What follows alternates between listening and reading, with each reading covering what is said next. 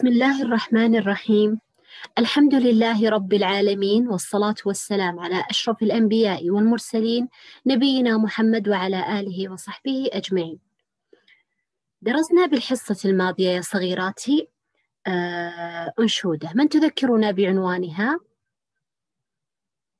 ممتاز بارك الله فيك يا صغيرتي آه من حفظت الأنشودة؟ من حفظت الأنشودة يا صغيراتي؟ تفضلي بارك الله فيك. هل حفظتموها جميعا؟ ممتاز. بارك الله فيكم. كان عنوان أنشودتنا في الحصة الماضية آه، محمد وديع. آه، من تذكرنا بلون ورقم وعنوان الوحدة؟ من تذكرنا برقم ولون وعنوان الوحدة؟ ممتاز. بارك الله فيك يا صغيرتي. ممتاز. بارك الله فيك يا صغيرتي. شكرا لك شكرا لك يا صغيرتي. آه عندما نريد آه آه أن نذهب إلى بيت جدتي أو عندما ويوجد هناك جدتي مريضة أو كبيرة في السن نريد ذهاب الذهاب إليها. هل نذهب بشكل عشوائي ونصدر أصوات وضجيج ونطرق الباب بكل ما أوتينا من قوة أو آه، آه، يجب أن نتحلى بأخلاقيات حثنا عليها ديننا الإسلامي؟ تفضلي يا صغيرتي. ممتازة يجب أن نتحلى بالآداب والسلوكيات التي حثنا عليها الدين الإسلامي. إذا بإذن الله درسنا اليوم آداب الزيارة. إذا سوف نتعلم اليوم آداب الزيارة التي يتوجب علينا تطبيقها آه، عندما نذهب لزيارة مريض أو لزيارة كبير في السن. بارك الله فيكم يا صغيراتي. لا ننسى تدوين التاريخ على رأس الصفحة. آه، من الرائعة التي تذكرنا بلون ورقم وعنوان الوحدة؟ تفضلي يا صغيرتي. ممتازة لونها أزرق وعنوانها آداب والسلوك و رقمها خمسة. بارك الله فيك. آداب الزيارة آه، هو عنوان الدرس. آه، نستمع للنص يا صغيراتي. آه، كل صغيرة منكم تحمل في يدها قلم رصاص. إذا وجدت كلمة صعبة تضع خط صغير حتى يتسنى لها سؤالي عن معناها. سوف نستمع إلى النص الآن. أي بطلة عندها أي سؤال تستطيع سؤالي؟ أي بطلة عندها أي كلمة صعبة تستطيع آه، السؤال عن هذه الكلمة الصعبة. تستطيع السؤال عن عنوان هذه الكلمة الصعبة. نستمع إلى النص سويا يا ثاني. الجميع ينصت. بسم الله والصلاة والسلام على أشرف الأنبياء والمرسلين نبينا محمد وعلى آله وصحبه عفوا عفوا يا صغيراتي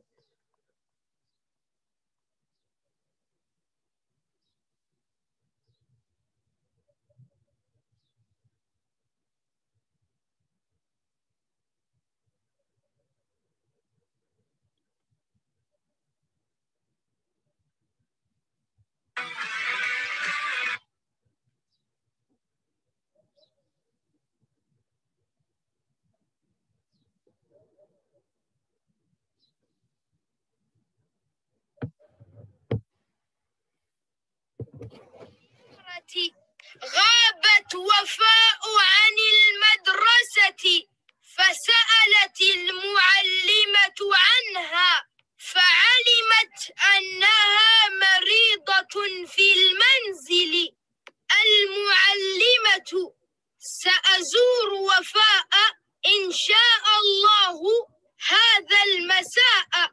فمن منكن تستطيع مرافقتي؟ التلميذة فكرة رائعة يا أستاذة. كلنا نريد مرافقتك. المعلمة علينا أن نلتزم آداب الزيارة فمن تذكرنا بها هند.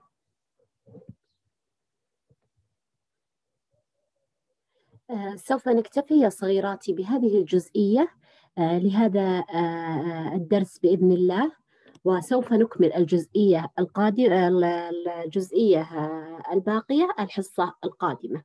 واضح النص يا ثاني؟ واضح النص يا صغيراتي؟ طيب الجميع يتبع سوف أقرأ. آداب الزيارة. غابت وفاء عن المدرسة. عن المدرسة فسألت المعلمة عنها.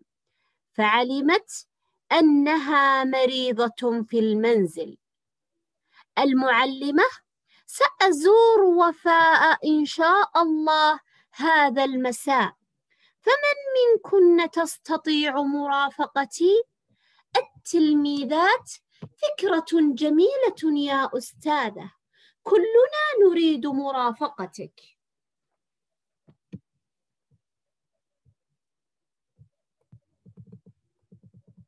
المعلمة علينا أن نلتزم آداب الزيارة فمن تذكرنا بها؟ سوف أقرأ النص ثاني للمرة الأخرى. الجميع يستمع وينتبه للظواهر الصوتية. تستطيعون تحديدها للمشاركة فيما بعد. آداب الزيارة. غابت وفاء عن المدرسة فسألت المعلمة عنها فعلمت أنها مريضة في المنزل.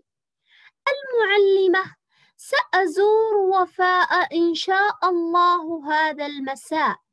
فمن منكن تستطيع مرافقتي التلميذات فكرة جميلة يا أستاذة كلنا نريد مرافقتك المعلمة علينا أن نلتزم آداب الزيارة فمن تذكرنا بها هل هناك أي كلمة صعبة يا ثاني؟ هل هناك أي كلمة صعبة؟ ما معنى مرافقتي؟ ما معنى كلمة مرافقتي؟ لا يوجد كلمات؟ شكرا لكم آه ما معنى كلمة مرافقتي؟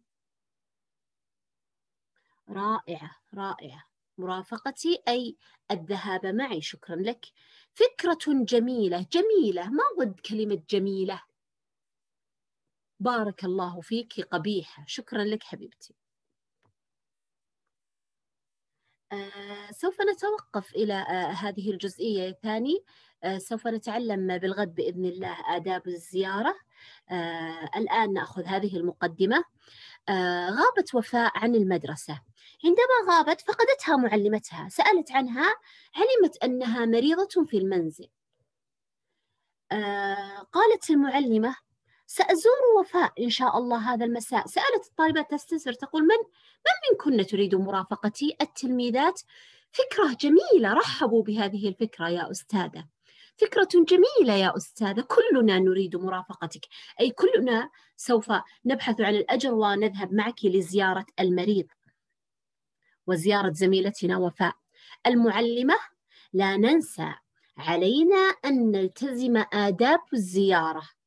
فمن تذكرنا بها؟ بدأت بالاستفسار عن آداب الزيارة.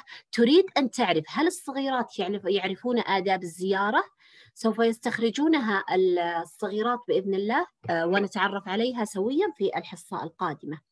من الرائعة التي تقرأ النص؟ في أي كلمة صعبة ثاني؟ في أي كلمة غير مفهومة؟ آه، تفضلي. اقرأي حبيبتي. ممتاز بارك الله فيك. أيضا من تقرأ؟ بارك الله فيك يا صغيرتي قراءة جيدة. ممتاز بارك الله فيك يا ثاني. ثاني الهدف الرئيسي غفلنا عنه وفي النص القرائي هو أن تقرأ الطالبة النص قراءة صحيحة بالظواهر الصوتية وبالحركات. عفوا يا ثاني غفلنا عن الهدف الرئيسي من النص وهو أن تقرأ الطالبة. النص قراءة صحيحة ملونة الصوت وفق ما يقتضي المعنى وبالحركات آه، ومراعية آه، علامات الوقف. آه، ثانيا آه، أن تتعلم الطالبة آه، أو أن تتعرف الطالبة على آداب الزيارة وهو ما سنعرفه بإذن الله في الحصة الماضية. إذا الهدف الرئيسي من آه، النص القرائي أن تقرأ الطالبة النص قراءة صحيحة بالحركات وبالظواهر الصوتية. واضح يا ثاني؟ أن تقرأ الطالبة النص قراءة صحيحة بالحركات. تفضلي يا صغيرتي. اقرأي بارك الله فيك بارك الله فيك. آه، آداب الزيارة. هنا صوتين طويلين. نبدأ باستخراج الظواهر الصوتية. هنا صوتين طويلين. ما هما؟ تفضلي يا صغيرتي. بارك الله فيك مدا بالألف. شكرا لك. أيضا هنا لدينا علامة ترقيم. ما هي؟ تفضلي يا صغيرتي. بارك الله فيك فاصلة منقوطة. المعلمة بعدها علامة ترقيم أيضا. علامة ترقيم من تذكرها لنا؟ بارك الله فيك نقطتان رأسيتان. وأيضا هنا من منكن تستطيع مرافقتها؟ ما هذه العلامة؟ ماذا نسميها؟ من منكن تستطيع مرافقتي؟ ممتازة علامة استفهام بارك الله فيك. واضح يا ثاني؟ أيضا سألت المعلمة عنها. هنا علامة ماذا نسمي هذه العلامة من علامات الترقيم؟ تفضلي يا صغيرتي بارك الله فيك فاصلة. شكرا لك حبيبتي. أيضا يا ثاني المساء ما نوع ال هنا؟ تفضلي. ممتاز. ال القمرية بارك الله فيك يا صغيرتي. التلميذات ما نوع ال هنا؟ بارك الله فيك الشمسية تكتب ولا تنطق. بارك الله فيك يا صغيرتي.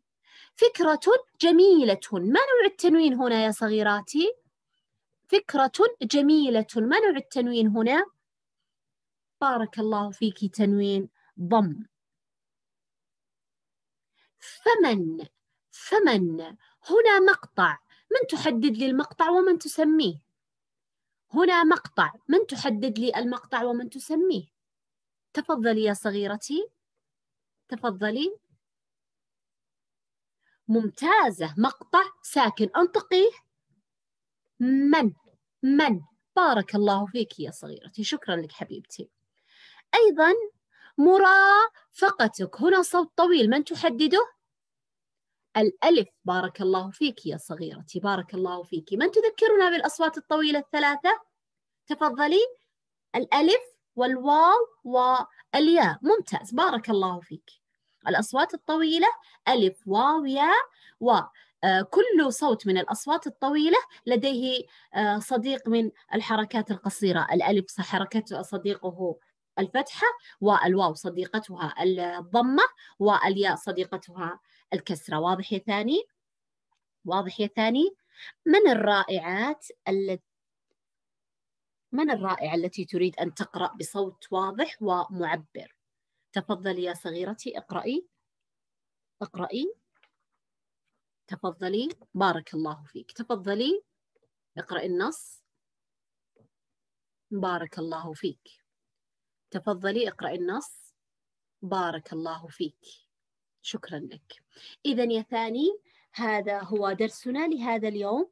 المطلوب منكم صغيراتي قراءة الدرس في المنزل قراءة جيدة. آه هنا في آه التلميذات فكرة جميلة يا أستاذة كلنا نريد مرافقتك. آه تحديدها إملاء يا ثاني. إملاء في المنزل بإذن الله. إملاء سوف نأخذها إملاء إن شاء الله. نتدرب على النص القرائي. أريد الجميع يقرأه بطلاقة.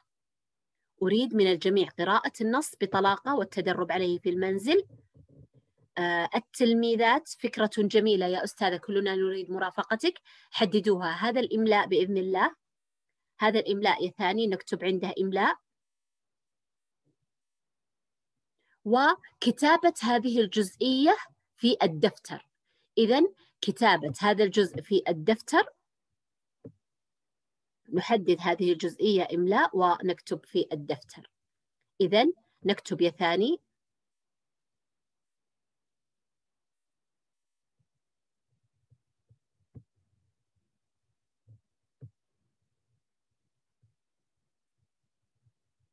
نكتب يا ثاني كتابة في الدفتر.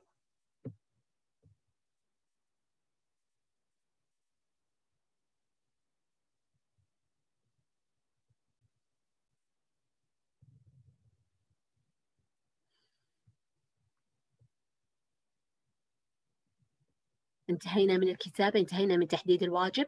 كتابة النص كما ذكرت إلى الجزئية كاملة آه، حتى تصبح خطوطكم جميلة بإذن الله.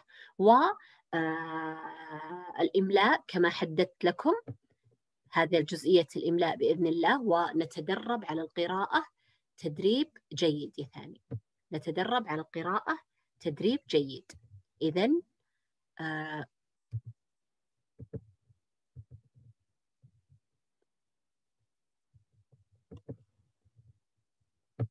ندون ثاني على الصفحة.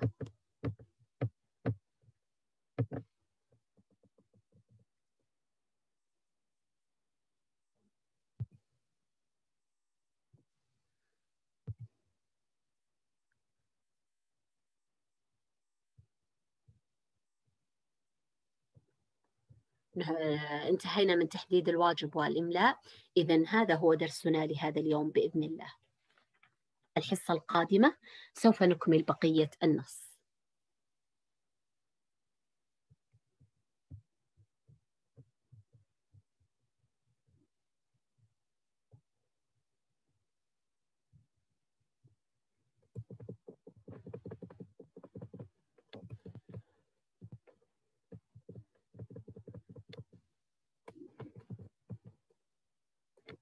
بسم الله الرحمن الرحيم. الحمد لله رب العالمين والصلاة والسلام على أشرف الأنبياء والمرسلين نبينا محمد وعلى آله وصحبه أجمعين. الحصة الماضية بدأنا بهذا النص من بدايته وقرأناه آه، في المنزل آه، من تقرأ النص؟ من تقرأ النص؟ هل تدربتم على النص في المنزل يا رائعات؟ تفضلي اقرأي الجزئية تفضلي تفضلي يا صغيرتي اقرأي من البداية. ممتازة قراءة جيدة بارك الله فيك. تفضلي. ممتازة قراءة جيدة بارك الله فيك. تفضلي. ممتازة قراءة جيدة بارك الله فيك. نكتفي ثاني بهذا القدر. سوف نبدأ في جزئيتنا بإذن الله لهذا اليوم. من تذكرنا بعنوان الدرس؟ تفضلي. ممتازة عنوان درسنا الماضي عنوان درسنا آداب الزيارة. من تذكرنا برقم ولون وعنوان الوحدة؟ تفضلي يا رائعة. بارك الله فيك لونها أزرق عنوانها آداب السلوك ورقمها آه، الخامس الوحدة الخامسة. آه، آه، وقفنا في الحصة الماضية إلى هنا. سوف نبدأ اليوم جزئيتنا هذه بإذن الله. الجميع يستمع للنص ثاني الجميع يستمع إلى النص. الجميع يستمع إلى النص وكما تعودنا آه، إن وجدت هناك كلمة صعبة ضعي خط تحتها واسأليني عن معناها. من آداب الزيارة أن نخبرنا بها.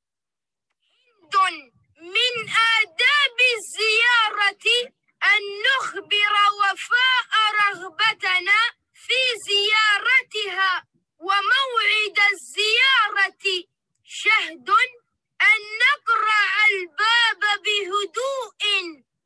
فاطمة أن نسلم ثم نجلس في المكان المعد للضيوف. أمل أن ندعو لها بالشفاء العاجل. ولا نطيل البقاء ونستأذن قبل انصرافنا. وصلت الزائرات إلى منزل وفاء. سلمنا عليها ودعونا لها بالشفاء العاجل. وبعد أيام شفيت وفاء. وعادت إلى مدرستها بصحة وسلام.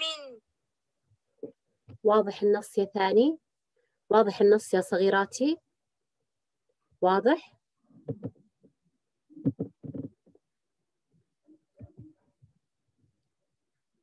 واضح في أي كلمة صعبة يا ثاني؟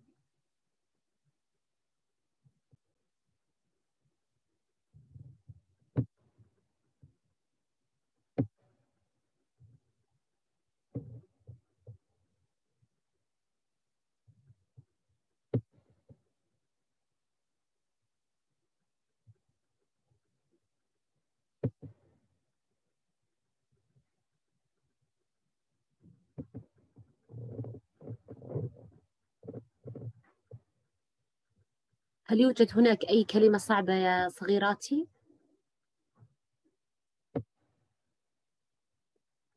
إذا نبدأ قراءة النص. هند من آداب الزي... آداب الزيارة. هند من آد... آه لا ننسى يا ثاني الهدف الرئيسي. من تذكرنا به عفوا قبل أن نبدأ؟ من تذكرنا بالهدف الرئيسي من النص؟ من تذكرنا بالهدف الرئيسي من النص القرائي؟ من الرائعة التي تذكرنا بالهدف الرئيسي من النص القرائي؟ تفضلي يا صغيرتي. ممتاز. قراءة النص قراءة. أيوة. بارك الله فيك. قراءة النص قراءة صحيحة بالحركات.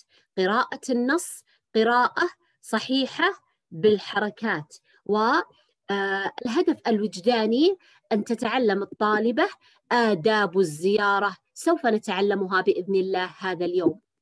الجميع يتبع. كما تعودنا يا ثاني آه، إن وجدت هناك كلمة صعبة آه، ضعي تحتها خط. آداب الزيارة. هند من آداب الزيارة أن نخبر وفاء برغبتنا في زيارتها وموعد الزيارة.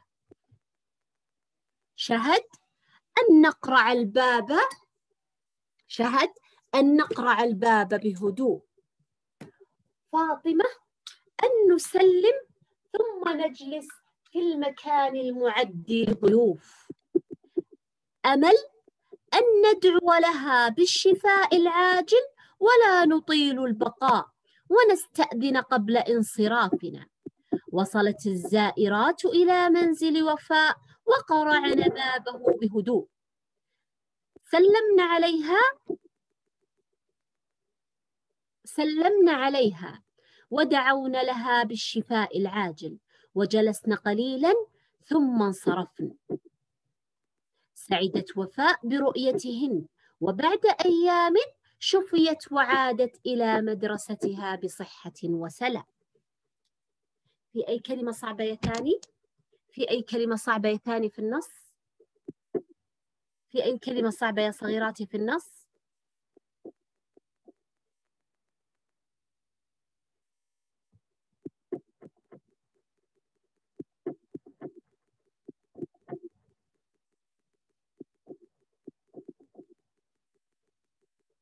لا يوجد كلمات صعبة؟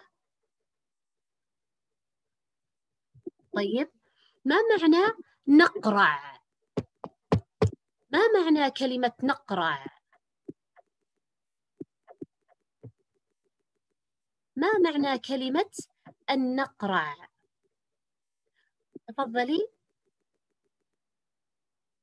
ممتاز بارك الله فيك. معنى نقرع نطرق. معنى نقرع نطرق. بارك الله فيك. ما معنى شفيت؟ ما معنى كلمة شفيت؟ ما معنى كلمة شفيت؟ تفضلي. بارك الله فيك تعافت. أريد ضد كلمة عادت. عادت إلى مدرستها بصحة وسلام. ضد عادت ذهبت بارك الله فيك يا صغيرتي شكرا لك. أريد رائعة تقرأ النص بصوت عالي قراءة وقراءة واضحة. ولا ننسى تحقيق الهدف الرئيسي من النص القرائي تفضلي. بارك الله فيك. تفضلي. اقرأي النص لا ننسى العنوان يا ثاني بارك الله فيك يا صغيرتي. تفضلي. بارك الله فيك يا صغيرتي. إذا يا ثاني سألت المعلمة آه، عن آداب الزيارة. آه، قامت كل طالبة من الطالبات بتذكيرها ببعض من الآداب. هند قالت من آداب الزيارة أن نخبر وفاء برغبتنا في زيارتها وموعد الزيارة. قالت شهد أن نقرع الباب بهدوء. قالت فاطمة أن نسلم ثم نجلس في المكان المعد للضيوف. قالت أمل أن ندعو لها بالشفاء العاجل ولا نطيل البقاء ونستأذن قبل انصرافنا. واضح يا ثاني الآداب؟ عندما وصلوا الزائرات إلى منزل وفاء قرعنا بابه بهدوء وفق ما تعلمنا من الآداب. سلمنا عليها ألقوا عليها السلام وهو تحية الإسلام. السلام عليكم ورحمة الله وبركاته. جلسنا عندها ثم دعونا لها بالشفاء العاجل. آه، المتوجب علينا يا ثاني عند زيارة المريض أن ندعو له بالشفاء العاجل. فقد قال صلى الله عليه وسلم عودوا المريض وأطعموا الجائع وفكوا العاني. فهنا أمر واضح وصريح من الرسول صلى الله عليه وسلم بزيارة المريض والدعاء له. ندعو له بالشفاء. عند زيارتنا للمريض تستغفر لنا الملائكة ثاني منذ دخولنا عند المريض حتى خروجنا من عنده. وفي زيارة المريض أجر عظيم. في زيارة المريض أجر عظيم يناله زائر المريض. آه، جلسنا قليلا آه، عند آه، وفاء ثم انصرفن ذهبنا إلى بيوتهن. ما ما أثر ذلك على وفاء؟ سعدت كثيرا بزيارتهن وبرؤيتهن. بعد أيام من الله عليها بالشفاء؟ فعادت إلى مدرستها بصحة وسلام. واضح يا ثاني؟ واضح؟ بارك الله فيكم. طيب أريد رائعات تذكيرنا بالآداب التي وردت في النص. تفضلي. ممتاز. أن نخبر وفاء برغبتنا في زيارتها وموعد الزيارة. ممتازة. أن نقرع الباب بهدوء. تفضلي. أن نسلم ممتازة. تفضلي. ثم نجلس في المكان المعد للضيوف بارك الله فيك. أيضا. أن ندعو لها بالشفاء. ولا نطيل البقاء. أن ندعو لها بالشفاء. العاجل. بارك الله فيك. تفضلي. آه لا نطيل البقاء. بارك الله فيك. ممتازة. نستأذن قبل انصرافنا. بارك الله فيكم يا ثاني عندما وصلوا هل قرعنا الباب بهدوء أم بفوضى؟ بارك الله فيك قرعنا الباب بهدوء سلمنا ودعونا لها بالشفاء العاجل جلسوا قليلا ثم انصرفن. ماذا كان أثر ذلك على وفاء؟ سعدت جدا برؤيتهن. بعد أيام شفاها الله وعافاها عادت إلى مدرستها بصحة وسلام. في أي كلمة غامضة يا ثاني؟ في أي كلمة غير مفهومة؟ طيب يا ثاني إن لم يزوروها صديقاتها. تخيلوا أنهم لم يزوروها صديقاتها كيف شعورها؟ بارك الله فيك. قد تحزن وقد تستاء أنهم لم يحسوا فيها ولم يأتوا لزيارتها ولم يدعوا لها.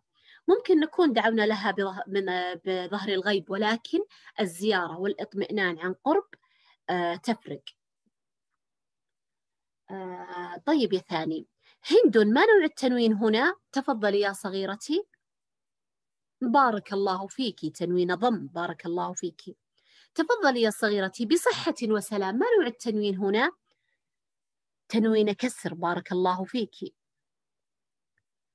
هند شهد فاطمة أمل. وردت بعد كل اسم من هذه الأسماء آه، علامة ترقيم. ما هي؟ بارك الله فيك يا صغيرتي. نقطتان رأسيتان.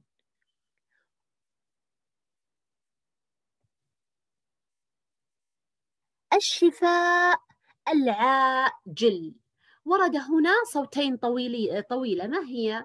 تفضلي يا صغيرتي. الألف بارك الله فيك. للضيوف. ما نوع ال...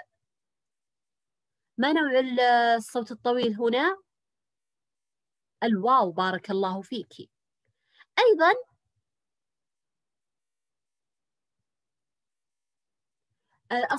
الأصوات الطويلة عدديها لي الثلاثة. الألف والواو والياء بارك الله فيك. الزيارة ما نوع التنوين هنا؟ ما نوع التنوين؟ بارك الله فيك. ما عفوا ما نوع ال بارك الله فيك. الشمسية تكتب ولا تنطق. الباب الباب. بارك الله فيك. نوع ال القمرية تكتب وتنطق. بارك الله فيك يا صغيرتي.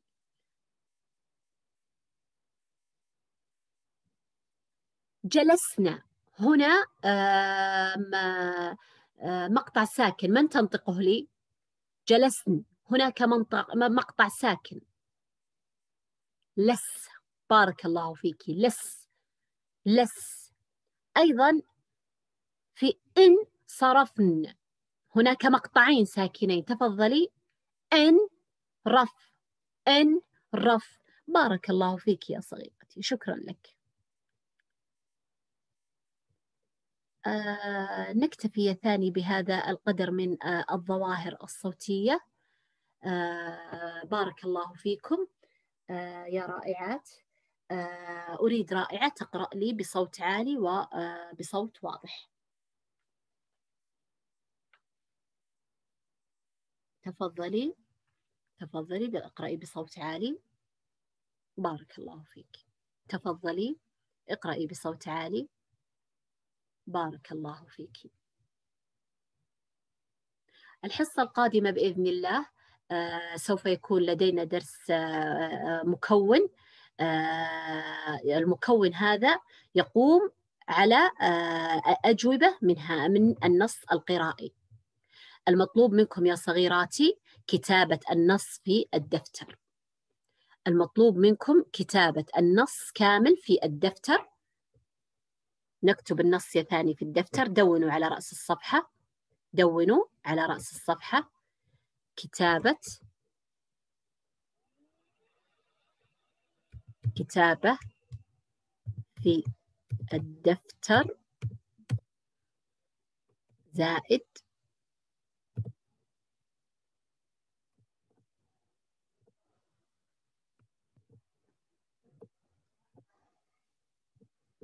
إملاء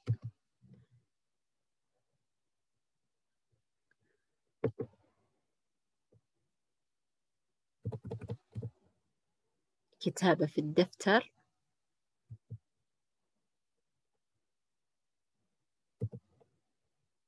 معلش ثاني.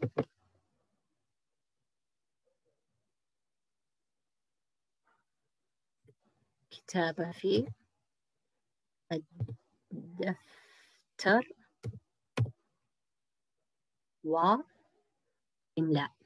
الإملاء وصلت الزائرات إلى منزل وفاء. الجميع يحدد الإملاء. وصلت الزائرات إلى منزل وفاء. حددوا الإملاء يا ثاني. الإملاء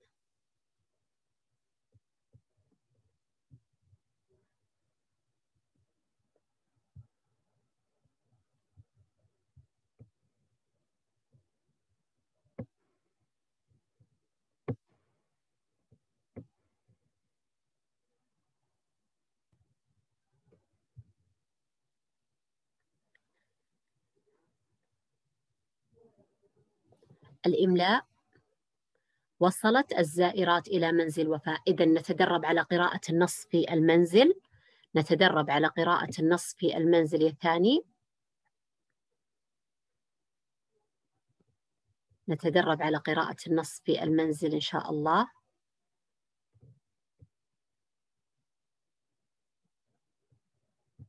ونكتب النص في الدفتر.